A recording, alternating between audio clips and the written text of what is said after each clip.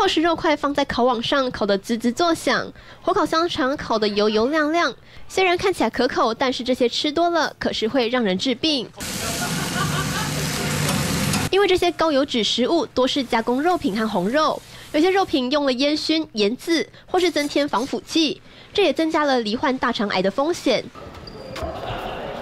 像是近期奥运最红的羽球一哥周天成，就曾被诊断出得到大肠癌，当时他马上做了切除手术，要减少复发的机会。原本大肠癌好发对象是五十岁以上的族群，现在离癌年龄却越来越往下修，甚至还有人三十岁就长了大肠息肉，最后更发展成大肠癌末期。肠癌的机率机会大概三分之二，